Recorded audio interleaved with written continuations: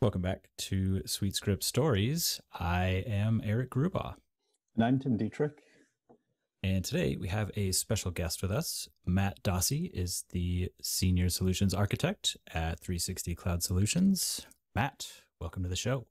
Great to be here, Eric. Thank you. So, why don't we open up and have you just uh, tell people a little bit about your position now, what you're doing in the NetSuite world, and how you got there?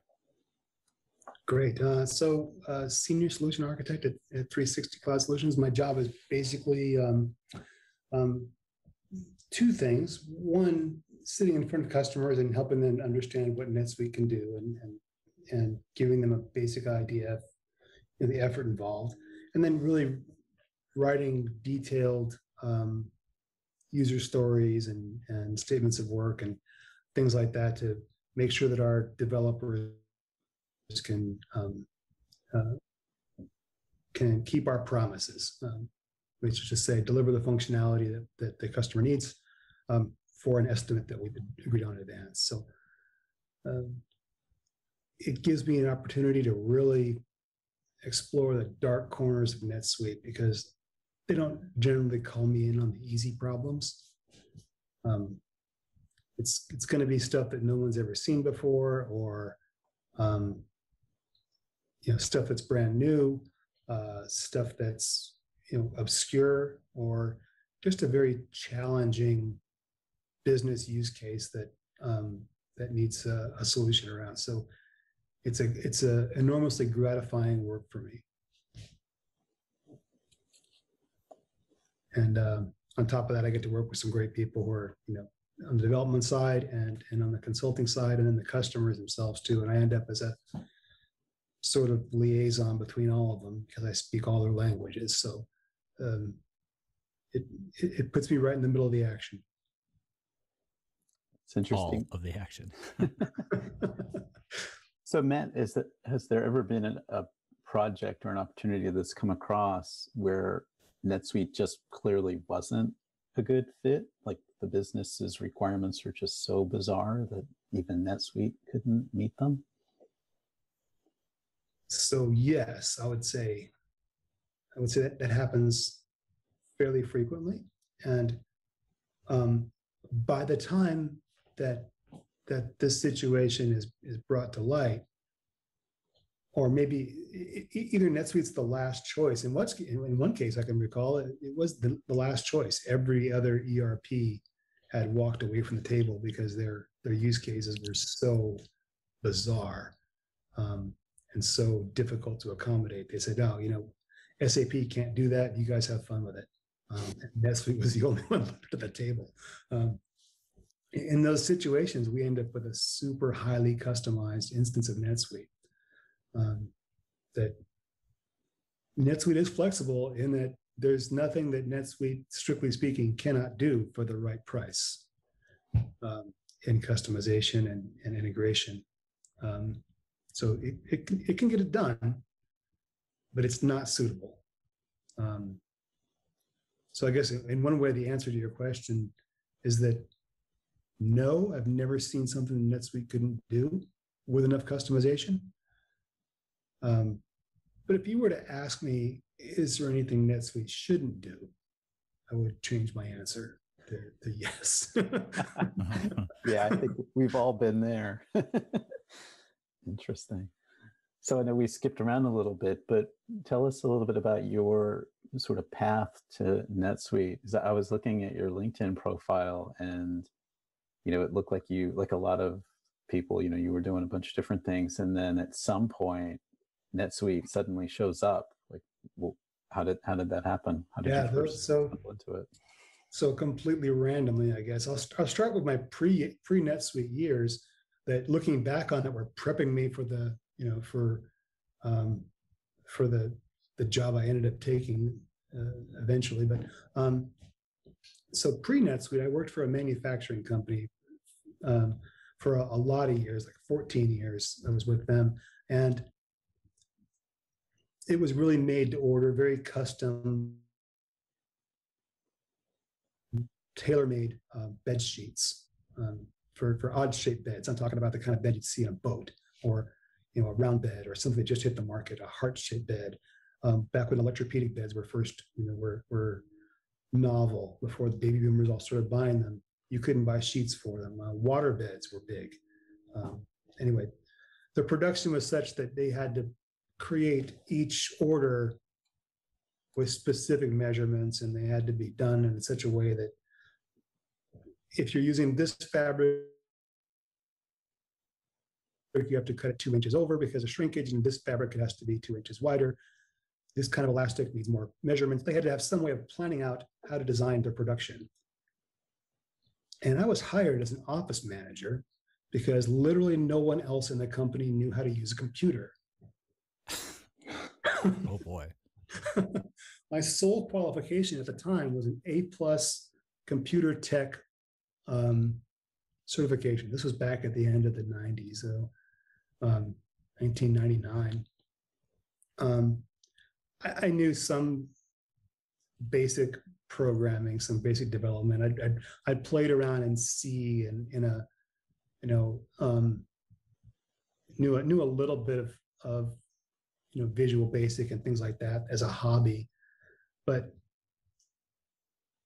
you know as this as this role grew and i ended up having to design a you know a production management tool it it then became it sort of branched out into okay now we're managing our production within this software tool. Now we need to be able to schedule you know future production with this software tool and expose that to our customers through our website. When's their order going to ship? Uh, sort of like the domino's pizza tracker before that was a thing so introduced me to all kinds of web apis and i, I was just learning on my own how to do this. Um, and it got to a point where I, I, I, became a bit more comfortable with it. And um, um, my brother approached me with another project that I was going to work on on the side, which was a, a, a sort of a an estimating and um, and uh, and work management tool for his business, which was a, restoration. So when a fire or flood happens, they'll come in, clean it up, and and restore the property. Um, a lot of insurance-based stuff, a lot of a lot of things around you know measuring uh, moisture levels, uh, working with insurance companies, um, producing PDFs. So I built a, a, web application for him, which he still uses to this day, believe it or not. Um, and, and it was coming from that um, when I, um, at the time, I, I, didn't have a degree. I didn't have, I'd never gone to college. And um, decided, well, I've already learned also, I've already learned so much. Why don't I go get a degree for this sort of thing and change jobs to ones that one that actually, you know, would would put this stuff to use.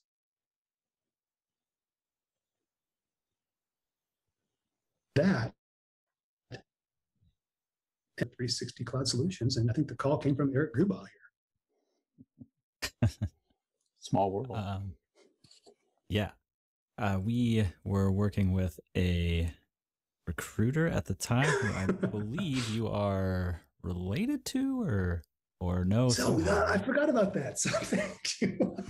oh yeah, that's a hilarious story. So it turns out my brother, who I was doing this work for at the time, his wife uh, ran a, a, recruiter called Tech Defenders in in um, in Arizona. It's not Tech Defenders. uh, no, it's not. It was uh, something else. Uh, I know why you said that, but Tech Finders. Tech Finders. There you go. There's actually a company I'm working with called Tech Defenders.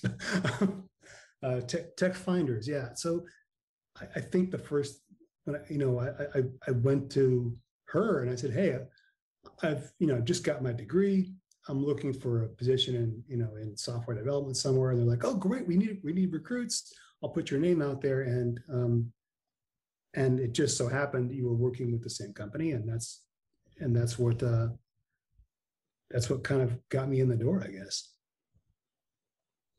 Yeah. So full disclosure, I hired Matt at 360 Cloud Solutions a long a long time ago. Yeah, and, and my and my sister-in-law got paid for it. I guess. Yep. yep. So Matt, you can blame all of this on Eric, right?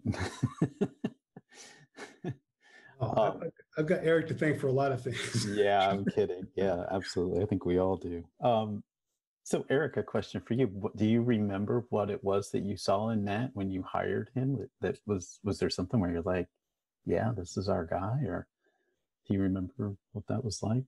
Oh, put me on the spot. Um, yes, I do. I uh, remember just so I, when I was interviewing people at the time, I did not, one, well, yeah, I did not do a lot of code. I didn't make people write a lot of code. I still wouldn't if I was if I were interviewing today. Um, I used more like conceptual problem solving. There was a little bit of code involved and some like sort of JavaScript trivial question trivia questions basically just to make sure what was on your resume was accurate. Um, but beyond that, it was mostly like conceptual problem solving, more um, architecture level questions. Like uh, one of my favorites was sort of just how would you go about designing a poker game or or some sort of simple like a game where somebody under you know most people understand most of the rules. Um, anyway, so what I remember is Matt having very clear solutions, like, like being very organized and structured, and uh, just uh, having, like I said, a very clear idea of the the high level uh, of problem solving. That is what I was looking for at the time. Yeah, that's pretty cool.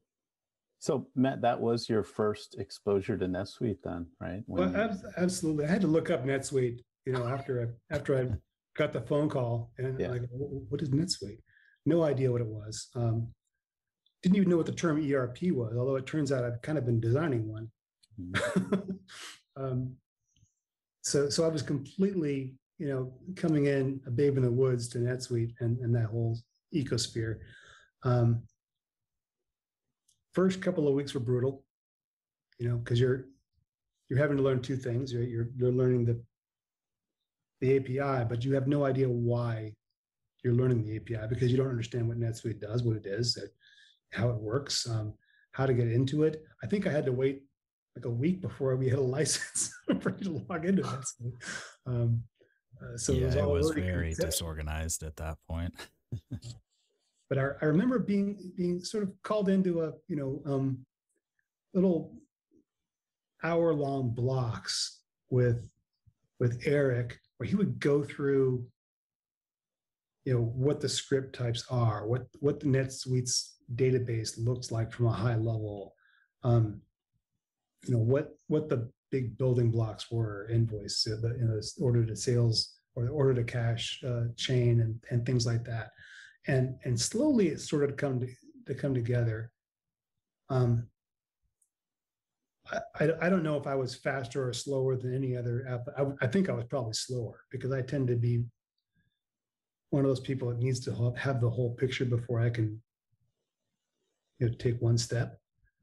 Um, at least I used to be. Life has taught me different since then, but um, it, it was it was a it was a long time before I felt like I had any, anything to contribute uh, to the team. So um, I'm not sure how common that is, but it certainly was was.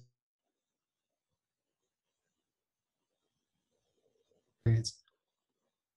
I would say it's it's pretty common, or it was at that time anyway. In that place, Well, at the time that all that was going on, there really weren't a lot of resources for you, right? I mean, Eric was your resource, that and I guess NetSuite help, right? I mean, Yeah, that's that's true, and I did have teammates yeah. um,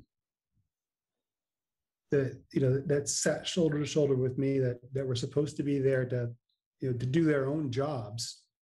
Um, so I was reluctant to really reach out to them for questions, but um, they couldn't really feed me work.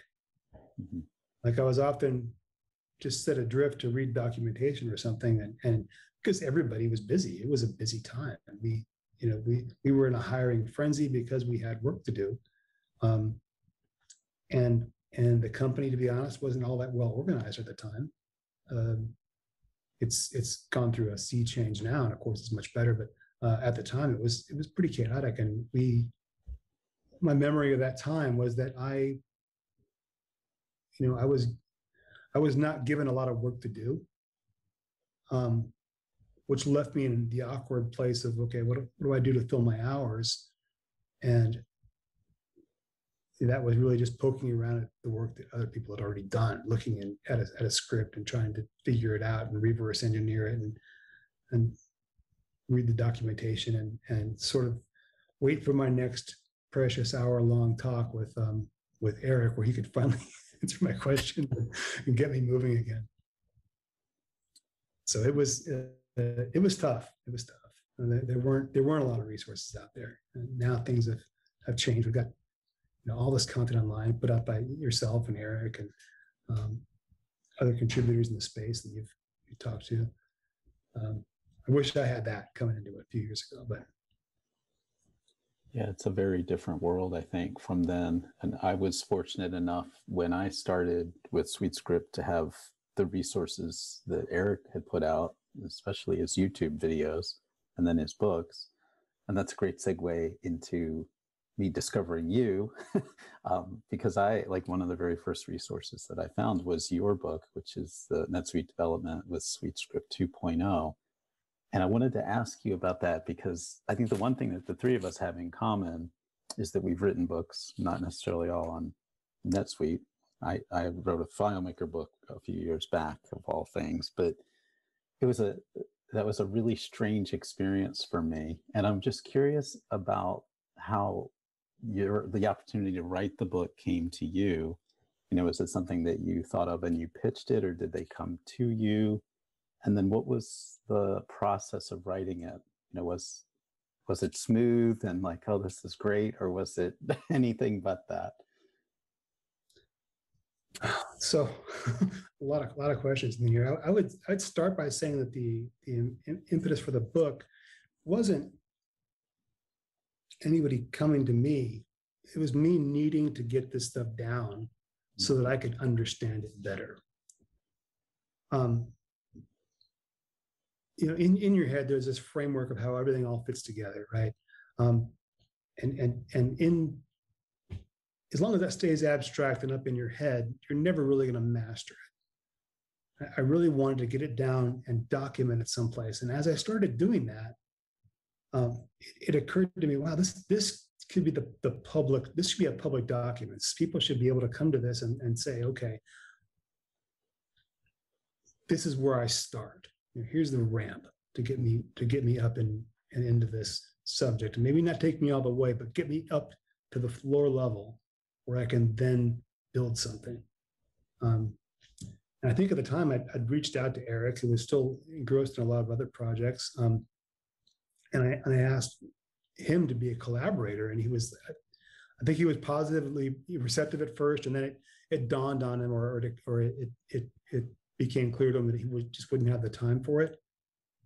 Um, and my memory could be fuzzy on that, Eric. So you know, check me if I'm mistaken there. But I ended up no, just that's about it. Yeah, I ended up just just taking it on, and and um, and it's completely self-published. It's not like I went to a publisher and, and proposed the book. I just started writing um, through Leanpub, um, which gives you a, a, a, real easy path to getting a getting a book to the to the marketplace, and even you know selling a book before it um, before it's completely done um, which which I'd started to do after I felt like it was about I think 25% there. I, I put it up there for like a really cheap price. And of course, every time if you bought it, every time that I post an update to it, that becomes, you know, you own that update too. So there are people out there, readers out there who've, you know, bought the book for like five bucks or something and they're getting the whole thing uh, which now uh, now has a price of i think $39 suggested and 30 minimum or something. But um, it's it, it's a great platform to work from. It works from uh, it works through git. So i just commit changes to the book just like i'm committing software changes and uh, hit a publish button and and voila it's right there and it's accessible um, it's it, it kind of started off as like I just need to get this stuff out of my head, and then it evolved into sort of a relationship between a teacher and a student that I hadn't met. Like if I'm talking to my student, what do they need to know? And that's that was a tremendously helpful tool for me to grow as a developer. Because I, I mean, it's been said before, it's not an original thought coming from my mouth, but but you never master a subject until you've had to teach it. And and I I didn't have anyone to teach at the time. It was it was just this book, but I wanted to master the subject. So um, one of the ways that I I kind of forced myself to do that was writing the book. Now at this point, I had already got all the certifications that NetSuite had to offer for uh, development and consulting, just because I needed to have to study for those certifications to gain the level of mastery that I wanted. So when I'm out of certifications and there's no one left to teach, the only path forward for mastery is, is either just, hey, the time and the grind, or you put yourself in a position where you have to have to become the next level of expert, and that's by you know writing a book. So uh, that was the challenge I put out before myself, and that's it's kind of where where it came from and where it where it landed. Now, since then, um, the book has been sadly neglected. it's, honestly I haven't seen an update since I think early 2018 or something. Um, there's been a lot that's happened in the in the NetSuite space, and particularly with the NetSuite IDE since then. So large portions of the book are are now um, sadly out of date. Um, uh, so that's on me. It needs to be updated. Plan to do it as soon as um, life allows me.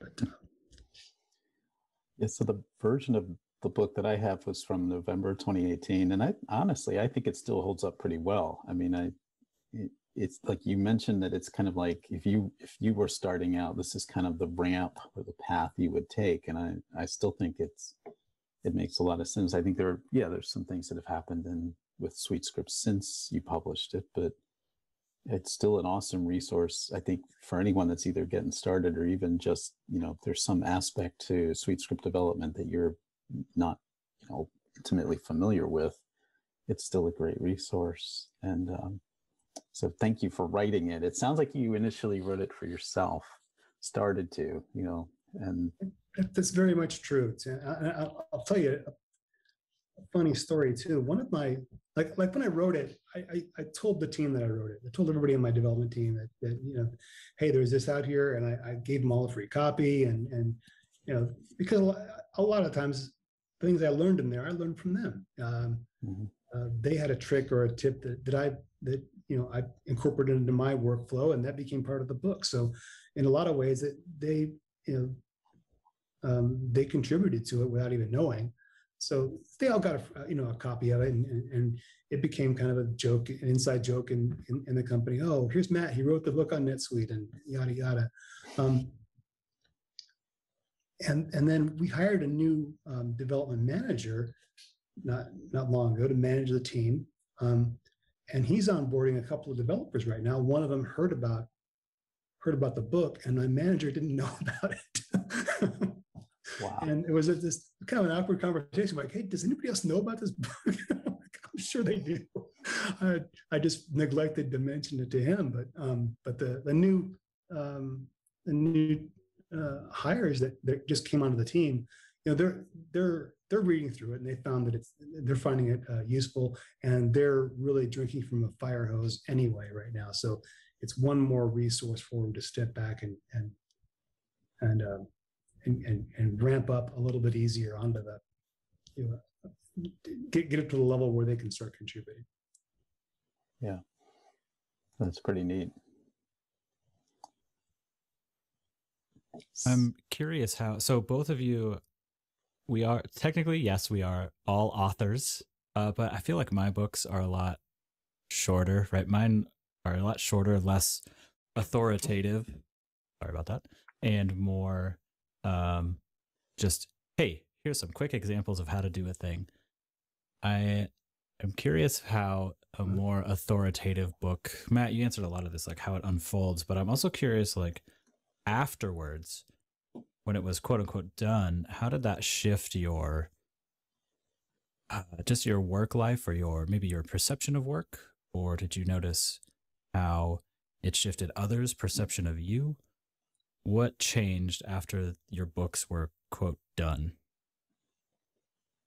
Changed. Um, well, for, I think that the uh, again, I wrote this for myself, so that was that was the and, and the reason I wrote it for myself was to acquire mastery. But more than that, if I'm being honest, it was to it was to assure myself of my mastery. It was to become more confident in my job and my role. And of course, that did happen when I was able to finish that book and accomplish a goal. Whenever you accomplish a goal, I feel like you, you've you've you've proved your own self-efficacy and in such a way that you you just become more comfortable in your role and you project that confidence. So um, certainly it was a career booster in that respect.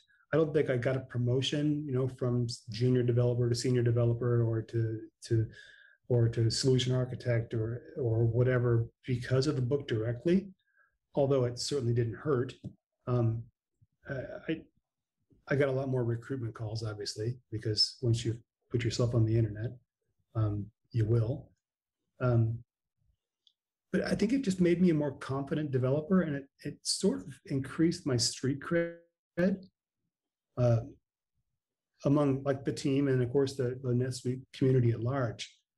Um, I don't know that it's that's 100% deserved either. There are lots of places at NetSuite that I have no clue about. Um, uh, but you know, setting that setting that out there and writing something that that at least pretends to be authoritative um, and comprehensive, uh, it it certainly does, you know, help your help your career and help your you know, your own um, sense of uh, of of how comfortable you are in, in your in your job and in your field. Um, when I go to NetSuite now, I or not go to NetSuite. When I go to SuiteWorld, um, it's it's like I guess you can hold your head a little higher, know that you have a name among this tiny little subculture of um, NetSuite developers, and there's a there's a small chance you'll actually be recognized. Who knows? Um, not that there's a lot of fame in in in that, but yeah, to well, answer there can be in that room. That's a very targeted audience, right? Yeah, in, in that room. That's it. like beyond there. Nowhere else. Yeah, nowhere else. but uh, I mean, it it's certainly not something I regret. I don't regret the time I spent um, doing it, and, it's it, it, has been super rewarding. And in the time since, um, every time that there's a new NetSuite release or something significant changes, um, there's this piece in the back of my head that gets this little bit of anxiety, like, oh, I got to go update this part of the book, or this thing is no longer true that I said was true in a tooltip. Um, or, or I should add a chapter for this new plugin type that they just released, or, or um, you know, even sometimes as, as I'm working as a solution architect and I'm finding a dark corner of NetSuite that I didn't know about that maybe has been around for a while, that's those sort of thoughts will still intrude. And I'm like, well, I kind of owe it to this unnamed student that I was writing this book to, to, to fix this so I don't lead that person astray. Does that make sense? There's yeah, almost like a definitely. relationship there with, with a generic, you know, student that, that never existed or perhaps exists only in aggregate. Yeah, that's where like especially video, anything with a user interface on a like a software platform is so stressful when you try to publish something like a tutorial or a how to on anything with a user interface or anything that might undergo significant change is very stressful. Like all my YouTube videos are probably some, somewhat out of date now with, you know, 2.1 coming out or just UI changes NetSuite has made since then. And, yeah, uh, yeah. Every single release, uh, the the anxiety piles up. And, and what I've learned, and, and, I'm here to tell you too, Eric, if you haven't figured this out, but people don't care, right? They they don't they, they understand. They, they see the date. Hey, this was yeah. published in 2018. They they understand. Hey, that's you know that's what it that's what it was in 2018. So judge him based on that. Don't judge it based on on 2021's you know release. Um, right. So knowing that you know it takes take some of the anxiety off of me. But at the same time, you know, I, I don't want my my baby to feel abandoned either.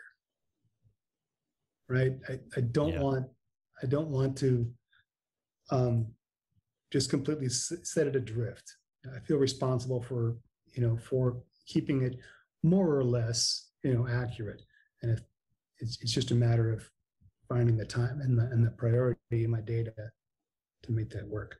I think it says a lot about you and the quality of your work that you feel that way because it would be easy to just say, you know, oh, well, you know, things change. Um, but the fact that it kind of gnaws at you and, you know, at some point you'll probably, you know, take the time to update it. It, it just, I think that's awesome.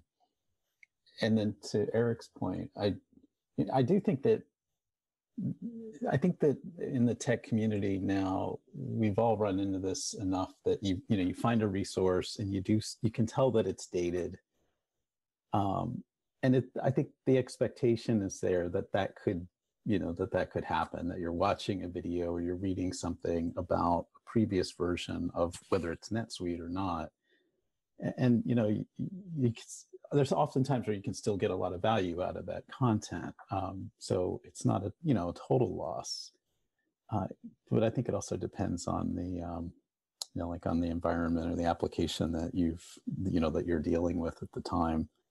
You know, like Eric said, you know, changes to the interface. It's you know if you're looking at an old YouTube video, there's times where it's like, oh yeah, this is really old, um, and yet the content might still be applicable, at least hopefully to some degree. So you know, it still gives the the consumer of that content hopefully some some value. Um, So when I when the anxiety weighs on me heavily, Tim, what I remember is that hey, remember when I took the sweets the SuiteScript uh, or the uh, SuiteScript test?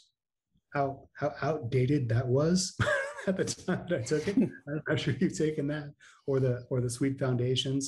Uh, a lot of those, in some cases, the questions were probably you know the the answers they were expecting were probably correct back then, but now they've changed, right? The, the, the correct answer is no longer the correct answer in some cases, and the, the interface or the or the you know the, the snippets that they're using are just so dated. So I, I don't feel as bad when the you know the platform's own certification program can't keep pace. Uh, how can I possibly how can I possibly do better than that?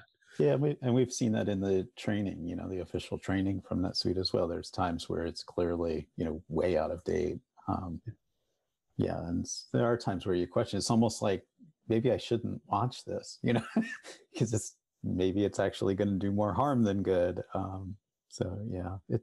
I think that's something that's somewhat unique to to you know to IT stuff, to, especially to programming. You know, are there really that many other professions where the content changes so quickly, or should change so quickly? You know that um, y- you know that it's hard to keep up with it.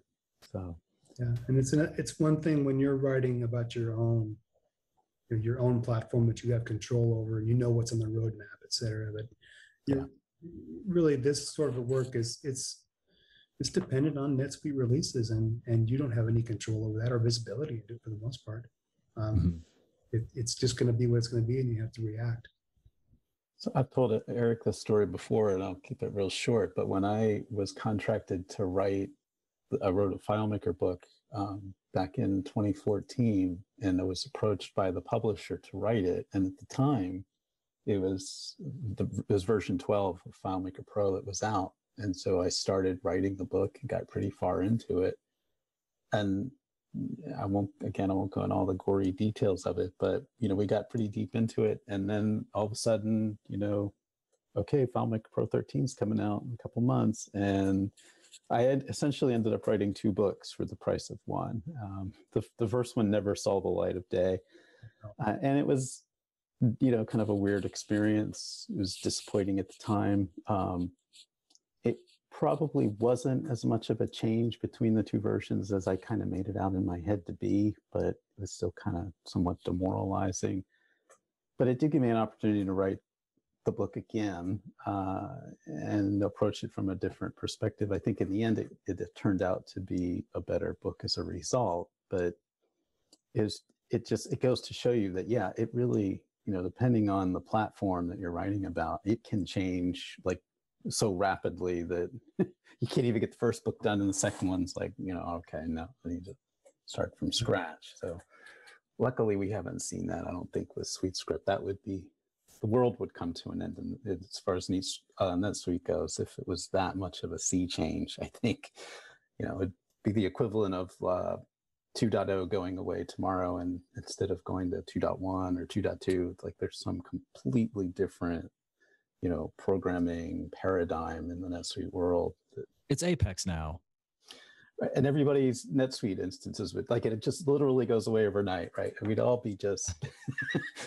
it, I don't. I can't even imagine what the impact of that would be. By the next morning, I can tell you I would be opening up a file and writing a new book because I'd have to master that Or maybe- Maybe change take that. a- make another career change. Maybe I don't know, but yeah, it's it. So it is kind of weird. Um, and Eric, getting back to your original question on that, yeah, I think writing the book for me, and it's it's again, it's kind of a long story.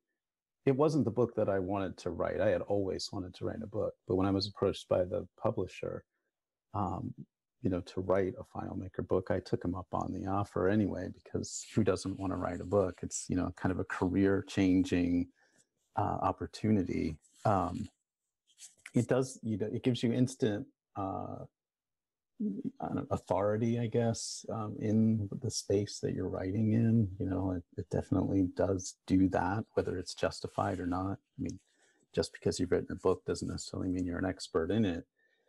Um, but it definitely did boost, uh, you know, my exposure in that space, and it continues to have an impact on it. I mean, I don't, I don't do a whole lot of FileMaker work these days. Um, and yet I still get approached to do it because people know that I at some point wrote a book and blah blah blah. Um, so I think it, it can have a big impact on your career, um, and a long impact. I think like for Matt, like you know, again, the last time that you published that book was 2018, and you know, four years later, it's still having an impact.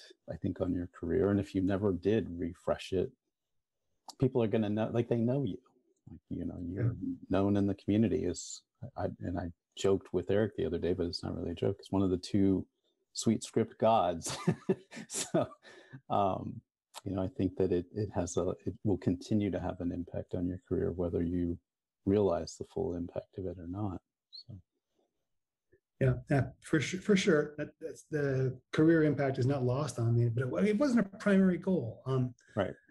It, it, it's a tool. Like we've got all these Chrome plugins for NetSuite. You're, you're I'm sure you're familiar with them. You use them all every day, like every developer would. Uh, like your your SuiteScript um, search exporter or your advanced um, advanced field um, tool, your your uh, field explorer.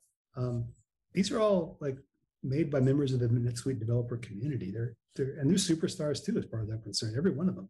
They've done the same thing that that that I've done and that Eric has done. And that's provide a tool for the people that we used to be. That you know, all the tools that we wished we had. we're we're trying to make it easier for the next guy. And and that's that's really the point as, as far as Yeah. as far as I'm concerned. Uh, um, yeah I, th- I think the authority that you get from writing the book, like I don't think anyone sits down. Well, maybe I don't know, maybe other people do, but I like I don't think most people who really write a book and feel passionate about the book that they're writing are doing it because they want authority, and they're certainly, hopefully, not doing it thinking that they're going to make a, a mint on it. you know that I'll be able to retire on the the proceeds of writing this book because I can tell you this if it's a tech book, it's probably not going to happen. Anything, if you know, and I don't know if you've done this. I remember at the time I did, I tried to figure out like how many hours I'd put into that book, and you know, you'd be better off going to get a job at like a fast food place. Like, Oh, know, absolutely. Yeah. so don't write a book to make money, and don't write a book to build authority. If you're lucky enough that either one of those two things happen, great. But hopefully, you're writing the book just to get your knowledge down on paper. I'm putting air quotes around paper, but you know what I mean. Um, just to get it out there. And I, I had the same experience that you had too. In the process of writing the book, it kind of does make you, you know, it might be a platform that you've been using for years. I'd been using FileMaker for I think 12 years when I wrote that book. It's it made me look at areas that either I wasn't as familiar with as I should be, or that I had never even touched. You know, I just never needed to know about that. Mm. So it does make you a better developer, you know, I think. So on, on that same line, uh, I, I want to, I remember distinctly that I did not understand a map reduce script, how, how, it, how it worked beyond the, the most superficial level until I wrote that chapter. I, I had to break down a map reduce script. I had to do so many experiments in a demo account to what would happen if I do this? What happens if I do that? To the point where I was able to just rewrite the whole map reduce framework that's running under the under the covers in NetSuite. And and and and completely get my head around how that worked. And there's no way. I, I don't think I could have done that. And got that level of understanding without having to explain it to somebody in that level of detail which is what the book gave me an opportunity to do. So I, I owe as much to that book as I ever got out of it. Yeah, I think it's interesting. Like it, it makes I think in the process of trying to explain something, like in your case with MapReduce, you begin to realize that maybe you don't know it as well as you thought too. You know, and so if you can't explain it in words, then it makes you think about it in a different way and has potential again to make you a better developer as a result. So, Eric, with your books, did you run into that as well? I mean, you, I know yours are very different. You mentioned like they're shorter books, they're very specialized in terms of like a specific SuiteScript area. Mm-hmm. But did you run into that too? And were there any that you wrote where you're like, you know, I've never done this, I've never needed this module before, but here goes, I'm going to learn it and write about it. Did you did you do that at all? So, sort of, yes not quite at the module level. I didn't write any of none of my cookbooks are about modules I had never used, but certainly some of them. Um, I wrote the basic querying book to learn more about the new n slash query module, new at the time. Um, there are the you know the search functionality is so extensive that in the I wrote three three separate cookbooks on the search module, and especially in those latter two, there were sort of uh, functions, features I had never used. Uh, so I was learning more about those, like how does when ordered by work in a script? How does it work in general? I would not understand. So similar to Matt's MapReduce story, I would not understand how when ordered by works if I had not written my transaction cookbook and and put that example in there uh, nor would I have uncovered the bug that's in there and still exists today. I think it's a bug, but um, so yeah, I had a, a very much that experience where there were things I did not know, or s- some of them were things I uh, didn't did not know that I did not know, and some of them were things I was aware of that that were more like, hey, I should learn more about this, or I'm curious about that. So there was a ton that I learned when I wrote like the rendering, uh, the n slash render module and working with PDFs and files in SuiteScript. I learned a lot from that book too, because I had n- not never done a lot more than just basic. Uh, take a template and render it into a PDF and put that in the file cabinet or render it, you know, display it to the user. So there's a lot I learned from, especially some of those later cookbooks. Uh, so not whole modules, but certainly different aspects of those modules. Interesting. So switching gears just a little bit away from the, you know, the writing, the books and stuff. Um, Matt, is there anything about SuiteScript development that you enjoy the most? And is there anything that is that you still find so frustrating that you know you banging your head against your desk? there's a lot that I love about SuiteScript development. I wouldn't do my job if I didn't like some parts of it. so, um, but I, I, guess one of the one of the coolest things about SuiteScript development is you can make a huge impact with a, with a fairly short script. You can make um, a, you can make a lot of users very very happy with just a little bit of automation, a little bit a little bit of work. Finding that that lever that gives you so little force can move so much you know move the needle so much that's that's an impactful career if you can find that um and, and i and i can i can obviously um make make someone's job possible where it wasn't possible before. I can make it easier when it wasn't easier before.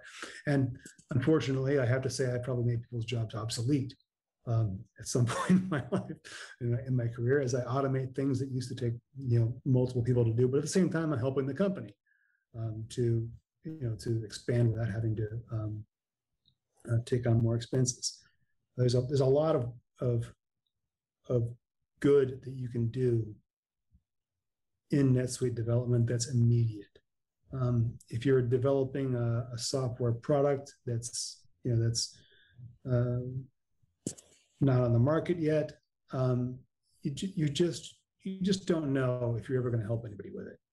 Um, you immediately get to talk to your users when it's done and see how it's impacted them. Um, maintain a relationship with those people and they maintain a relationship with you and ask you know hey can you make it do this now or do, do this other thing and there's this there's this sort of a self-affirming feedback loop that's going on there where they depend on you to do their job. Um, or, or, they're or they're grateful to you for letting them do letting them do this piece of the job or doing it easier doing it better. Um, uh, keeping them profitable um, that kind of thing. So th- these are the aspects that that i that i like about it. Um, I would also say that i enjoy one of my one of my sick, reprehensible pleasures is um, working on these incredibly convoluted, over customized NetSuite instances where NetSuite just doesn't bend that way. Having to architect a solution that makes it bend that way is a huge challenge for me, and that's um, I find that very gratifying. Even though at the same time, I will do everything in my power to talk them out of going down that path. once they do, um, that's the kind of project I want to take on myself. I don't want to pass that off to the next developer. I want to make sure that it's, if I've architected it, I want to make sure that it succeeds. Um, and and if it's super convoluted and, and can't be done, I, I, want that to be on my shoulders, not on not on some downstream developer. So um, that that's that's one aspect of, of, the of the job that I like like a lot. Um, what don't I like about SuiteScript? Um, NetSuite doesn't always meet your expectations. I'm, I'm preaching to the choir here, but uh, examples abound. Like it should work that way, and it, it, doesn't work that way. And Eric, you see, there's a there's a bug in the when ordered by functionality that NetSuite says is a enhancement request, no doubt. Um, and, and and when you run into something like that, it's it's frustrating because you have no control really over the platform itself you're within this, you got to stay within the bounds of what NetSuite allows you to do. And there are all kinds of creative ways to go right up to the edge of that and, and find a way to, to work around some limitation or some short, you know, shortcoming. Um, but they tend to crop up when you're almost out of budget. oh, you've just you're, just you're just about ready to finish this up, but this one last piece makes you have to rewrite this whole part of the solution because it it just you just can't search for that call. Yeah. Uh, or or you you you you, you just can't get access to to the to the data that you know is on the form, but is somehow not in the database, not documented, no no way to get at it. Um, and I'm, I'm just making up examples here. Uh, you know, one one thing that I find frustrating is, is the the list of country codes isn't something I can search, right? um, and hopefully that'll, that'll change one day. But but if you're designing something where you you want to restrict shipments to to different country codes, um, and you're trying to find what country code we're shipping to, you can't really go anywhere in NetSuite and find that unless you build the database yourself and then hope that that the politics of the globe don't render your list obsolete. Right. Yeah. Uh, there's all kinds of little frustrating things like that that I find with NetSuite. But all in all, um, you know, I, I, love the platform, and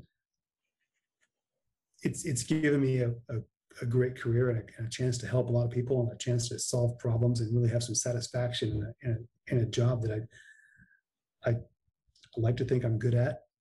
Um, so yeah, if you're if you're thinking of a of a career in NetSuite, think of you know think about those things and re- realize that you're you're working inside of a moving box. That moving box is going to is going to be shuffled and jostled around at, at, at the whim of of NetSuite corporate and Oracle. Um, and you, you just have to do whatever good you can within it that sounds okay to you, then probably in the right in the right spot. Yeah, I think you hit on a bunch of really interesting things there. Um, the limitations of NetSuite and in particular SuiteScript, they always seem to rear their ugly head at the worst possible time. Like you mentioned, like, okay, we're real close to hitting the budget, and then all of a sudden, bam, right? Okay, 20 hours to, you know, fix this or work around this issue or whatever.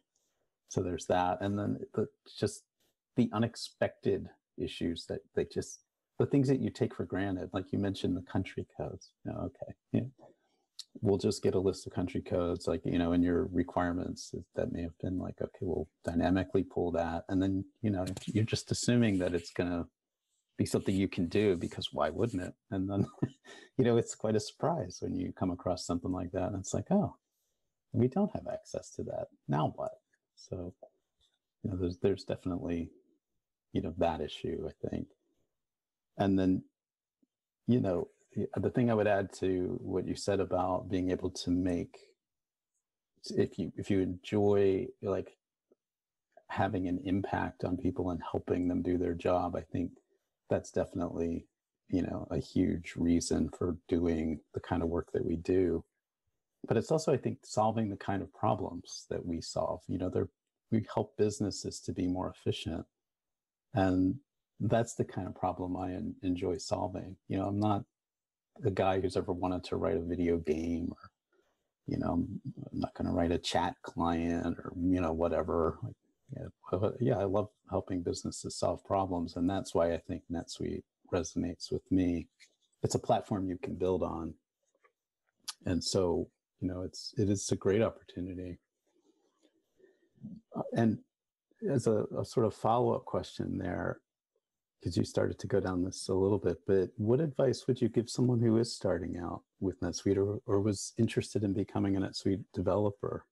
You know what would you say to someone who came to you and said hey you know i'd love to be a developer. Would tell me about netsuite you know how can i get started? What would your advice be? Well, first of all, I, I, I probably wouldn't take someone straight out of developer bootcamp and suggest that they go to NetSuite, to NetSuite development and look for a career in that. I'd, I'd, I'd encourage them to get some web development experience under their belt first. Um, and, and I would also encourage them to, to learn about, you know, accounting. Mm-hmm. God, I can't even tell you how helpful it has been to know the basics of, of double entry accounting. I don't have a degree in it. I'm not, I'm not MBA or anything, but until I took the effort to learn about accounting, my, many of the requirements I was given didn't make sense and didn't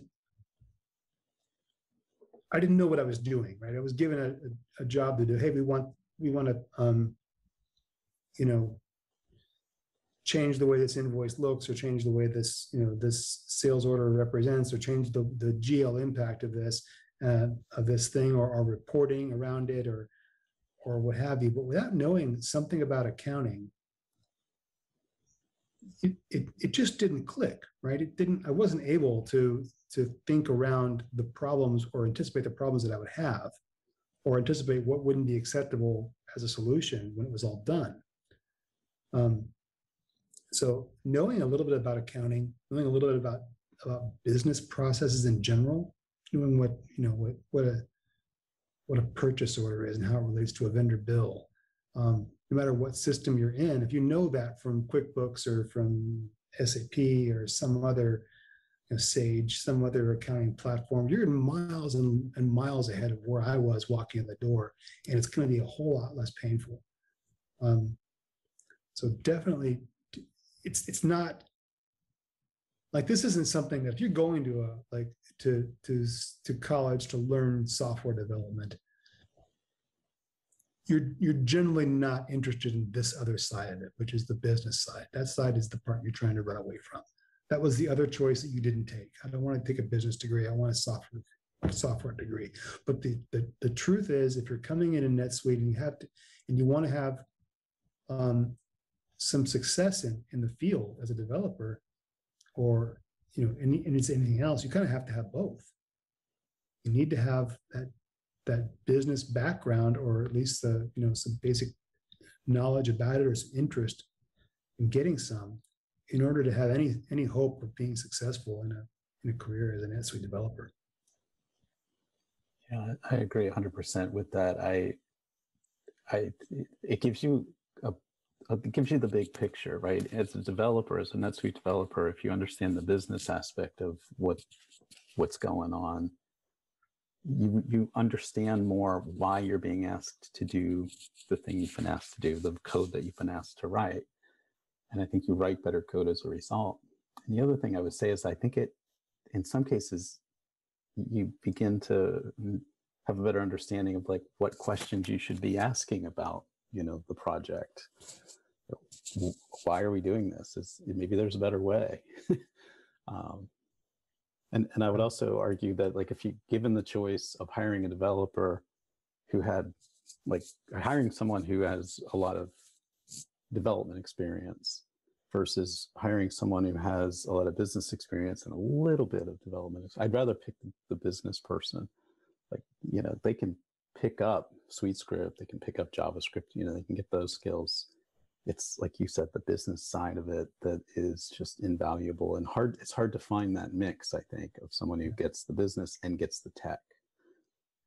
Yeah and honestly when i'm when i'm interviewing a, a candidate um I, I, I don't i don't care so much about the, the their javascript skills. Uh, if they got as far as in the interview process as talking to me that they probably got the chops. And i'm not i'm not there to drill them on you know the different properties of an array. Um, what, what I'm looking for is personality. I want them to be able to be flexible and, and that, you know, are they a good fit for the company? Are they going to be, I, I will happily train somebody from knowing absolutely nothing about NetSuite if, if they've got the right attitude. Um, and I think with, with NetSuite, you have to have that attitude of, okay, this is, this is the world we live in. Um, you know, you, you make the you make the best of it. Um, it's it's not perfect, but but I but I have an interest in the business side of it. Like I I want to help my customer. And, and that's not something that's that you find in every developer. They're usually I want to write code. Yeah. They, they don't have a why. They want to write code. Mm-hmm. Yeah, it's something I don't think it's unique to NetSuite. Two things not unique to NetSuite. One are, is like the constraints of the environment. There's, you know, there's some, there seems to be this grass is always greener attitude that, uh, you know, if you weren't in NetSuite, you'd have this green field, unconstrained environment. And that's never true, no matter what area of this field you choose. There are always constraints, whether it's in the technology stack or in the sort of the business or user facing side of things. There are always constraints uh, that you should understand and learn about. And the other one is that attitude of of I just want to write code or I basically I'm I'm writing code to impress other developers. Uh, and hmm. maybe impress is, yeah. is the wrong word there. And well, you should definitely write your code for the next developer uh, who's going to read it. Or maybe that's you in six months. Um, you should be your no matter what field you choose, you should be thinking about a big part of why you do it should be to help the people who are going to use your software. And you should be wanting to understand their perspective, their role, their job, whatever they're trying to do, whatever their goals are, and how your software helps them get there so that you can ask better questions. If you are only there to write code, you will probably plateau very quickly and get bored, frustrated, um, burned out very quickly in that job, whatever it is. Very true.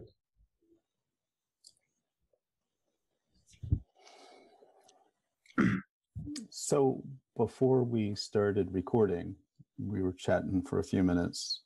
And Matt, you mentioned that you're in the process of onboarding developers. And you said something that I think uh, piqued both Eric and my uh, curiosity. It was, I think I wrote down, hopefully I got this exactly right, that you were thinking that uh, your developer should be starting with design instead of starting with code. I think that was the way that you you phrased that, and I'm just kind of curious about about that, about both the onboarding process right. to some right. extent. And, and, it's not not anything to do with onboarding specifically. It's just that uh, the process of of of um, teaching the the new hires how to groom a, a development story um, was was top of mind, and it's just super important. And it's important to me. I'm passionate about the idea that we don't start coding until we've we've finished designing. Like we we should like I, I, I guess a, a, one of the side effects of agile methodology is that you have these extremists who are like, well, just start doing something, and then we can iterate over that, and then it, it doesn't work all that well with NetSuite, to be honest with you. When you have um, when you have that methodology and you have that kind of an attitude, um, these are you know production systems. These are people that are doing their jobs day to day. You can you can have an iterative idea in your head of okay here's how phase one's going to look here's how phase two is going to look. But you definitely need to know what phase one looks like before you start coding phase one. You need to think about everything from end to end and the impacts of it. Like uh, for instance if your if your solution is to create a custom record whenever this happens ask yourself how many times that's going to happen ask yourself how many years is going to be in place? You know, um, is this going to be this custom record going to be cluttering up the database and become a monolith um, uh, ten years from now? If if if you're in the same situation, ask yourself, am I going to exceed governance because somebody put it in an order that's 200 lines long? Um, you know, if so, what's going to happen? Am I am I going to have to um, to to they want this to happen in real time but the users might not have permission to all the records that i need to make it happen. So do i have to build some sort of a backend suitelet to get the information? You have to design first before you start writing code. Um, and it's just so easy for especially a junior developer who's, who's new to the platform to, to read, you know, a set of requirements or talk to a user maybe even and, and come come up come away with okay this is what they asked for. I'm going to give them exactly what they asked for. That never works. I I don't know if you guys have, have, have encountered that before. I, I, I can say that giving the user exactly what they ask for or exactly what they what they want which by the way are two different things is never as good as giving them exactly what they need which is it's up to you to figure that out right they don't know what they don't know they don't know what NetSuite can do. They've told you that at the end of the day, I want this to happen. But, but they've probably also described how they want it to happen. And it's, it, you know, that's not a design. That's, that's a user request. Sometimes you can make, make it close, but do you understand what I'm trying to say about that? Am I being clear? Yeah, I, it's as if sometimes the customer or the user, it's like there's kind of self-prescribing, you know, a solution as opposed to just coming in and saying, I've got this problem I need help with, help, you know, please solve it for me. Versus, okay, I've got this problem and here's how I want you to solve it, you know, because mm-hmm. it, it's like you said, what they think they need in terms of like what the solution actually is or how to get to that solution might be very different from what the best solution really is. So, Eric, I know you feel pretty strongly about this too. That's like my analogy for this is like it's you have a cough and then you went on WebMD and did a little research on your own and you went then you went to your doctor and said, I have cancer. I definitely, definitely have cancer. Help me. Or worse, you call in to make the appointment and it's like, okay, I'm coming in for chemo on Monday. And then they, Yeah. why? I have a cough. and I, you know, Yeah. right. You- Or, or, you know, you say, yeah, I have throat cancer. And then it's like, well, how do you know that? right. So here's a, a different analogy that, that kind of puts a different spin on the problem. I think I use this quite a quite a lot. It's like when you're talking to a developer, a lot of times you're talking to a guy or, or a girl, doesn't matter, who has a tool belt on, right? They've got hammers, they've got drills, they've got tape measures, they've got stuff in their tool belt.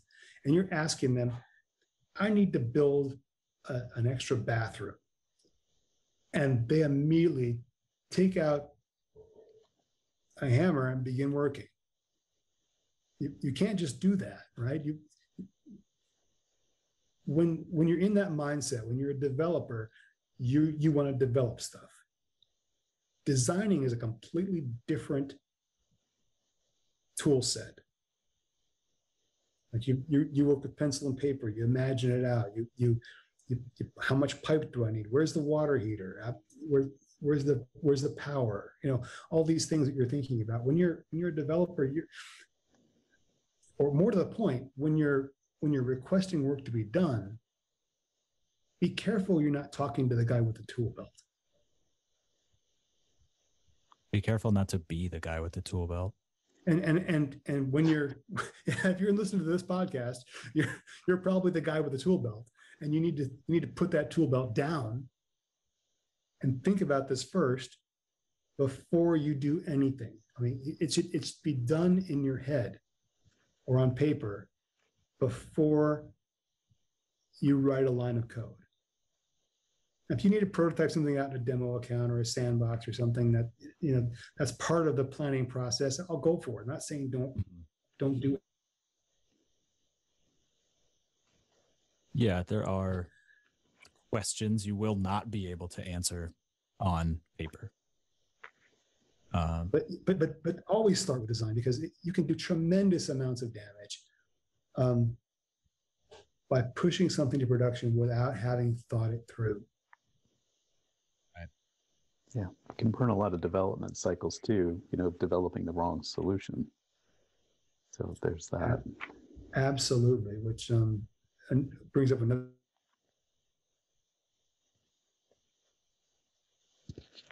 Which is that using demos really a lot of times what the communication breaks down right there at the beginning and oh that's not what I meant or that's not what I asked for.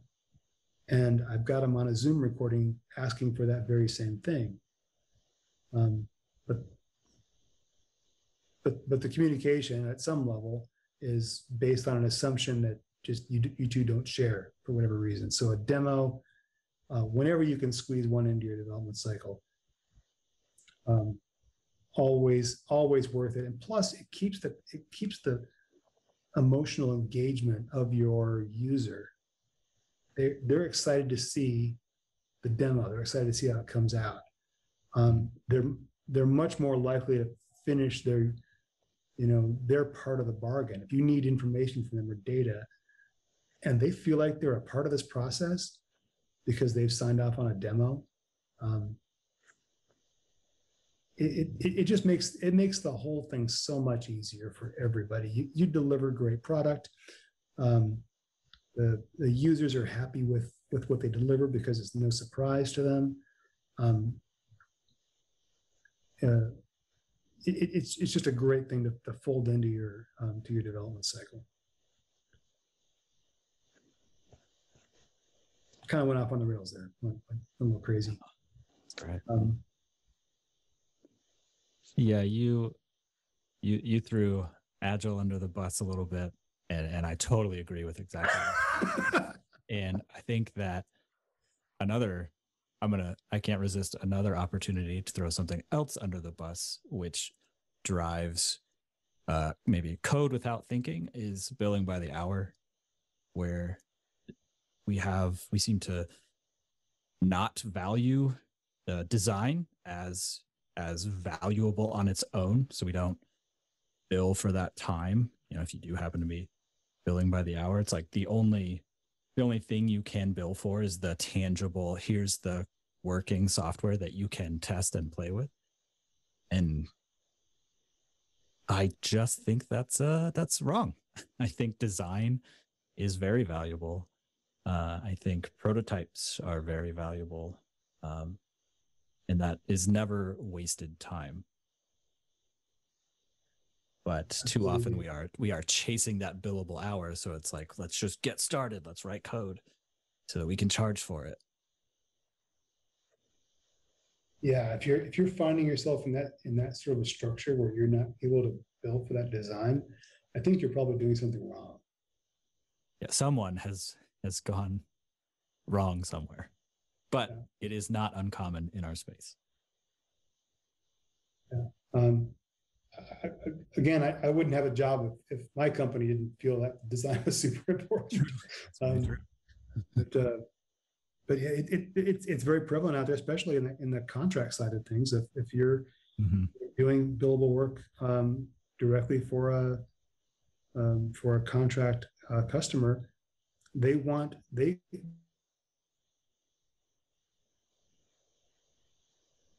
paying you for a deliverable. Um, and if you haven't delivered it yet, why are they paying you? Um, so I, I can definitely see how that, how that design is is less valued in that space, but we've got to all do everything in our power to kind of stick to our guns on that um, and assure these people that yeah, you can get it cheaper, but it's it's going to break, and there's going to be things that we didn't think about if I don't take the time to chart this out.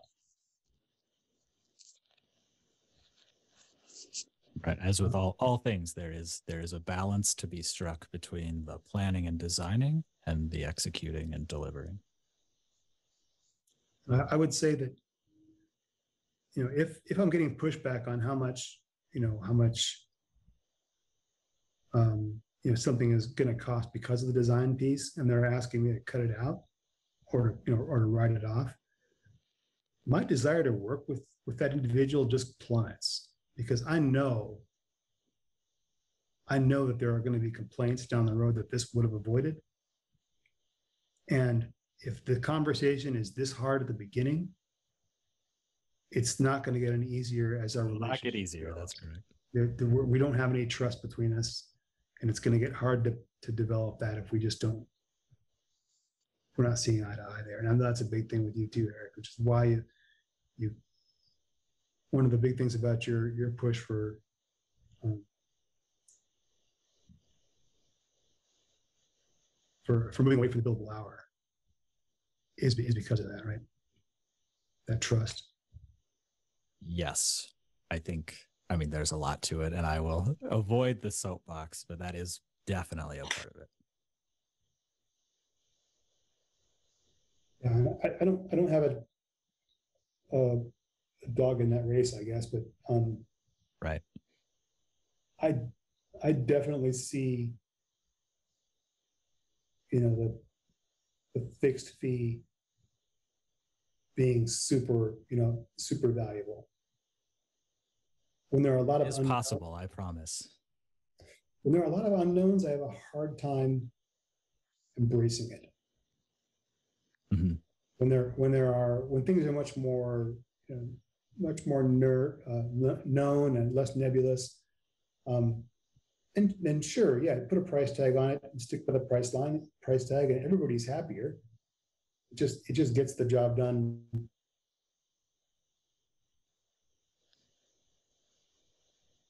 bureaucracy but if there are a lot of unknowns and both sides know that i just i just feel there's a lot of, a lot more comfort in the in the billable hour on both sides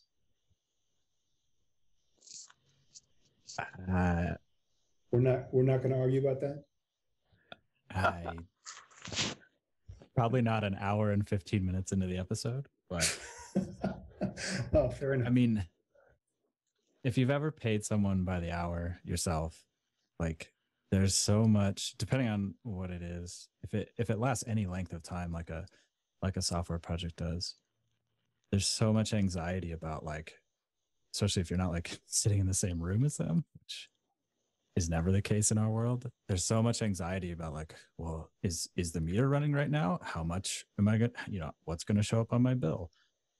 And like as the projects go on and on and on, that anxiety only builds. And at the same time, usually as you get closer and closer to some deadline, the dev team is working more and more. They're working longer hours. They're throwing more people on the project if it's getting behind.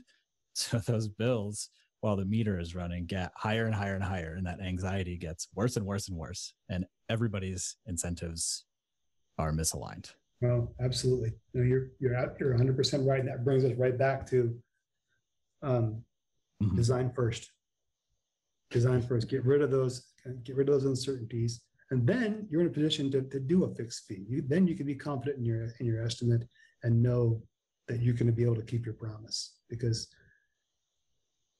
it, it really is you're given an estimate at the beginning no matter what you're doing. You're giving an estimate. And if you don't keep that estimate stay under it or stay near it you've you've really kind of broken a you know broken a promise and broken trust um, starting from design helps you keep that trust.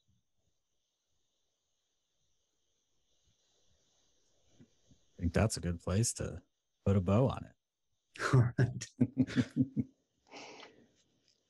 yeah, we could definitely go down deeper down the that rabbit hole of Yeah. hourly billing or value It's billing. clear Matt needs to come back and talk to us again. Hey, happy to take your call whenever whenever you guys reach out. I owe uh, I owe Eric quite a bit um, for my whole career. Probably he's the guy who taught me SuiteScript to begin with. So there would be no me without him. Um, so anytime, anytime you guys need somebody to fill an hour, well, that's Right. awesome. Well, take you up on that at some point for sure. yeah, definitely. So, if Matt, if people want to get in touch or find out more about you or your book or 360, where should they go? Oh, uh, where should they go? Um, I, I would say don't go to my LinkedIn and send me a message because I will absolutely ignore it. Uh, We Uh, will that- not put a link to that in the show notes. um, I'll, I'll- I mean, always um, happy to, to take a question about the book through the LeanPub site, and I'll, I'll throw a link to the in the show notes. I'm sure for that. Um, yep, Absolutely. I would say, you know, reach out through 360 Cloud Solutions if you need to talk to me, or you know, send a message to Eric and then convey it on. I'll always listen to him. You can also find me in NetSuite Professionals uh, Slack if you're in there.